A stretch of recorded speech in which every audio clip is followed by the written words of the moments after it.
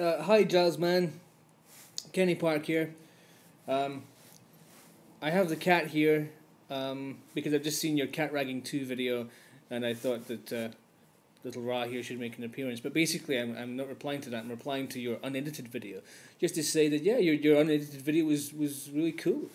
And although your editing is cool, um, you're still cool without it. So I'd rather see more of you, um, if even if it means less editing. And uh, I'm not into editing my videos at all because I can't be arsed. And it makes me feel so much better to see other popular YouTube videos. They don't feel they need to be uh, editing smart arses. Because no one likes a smart arse.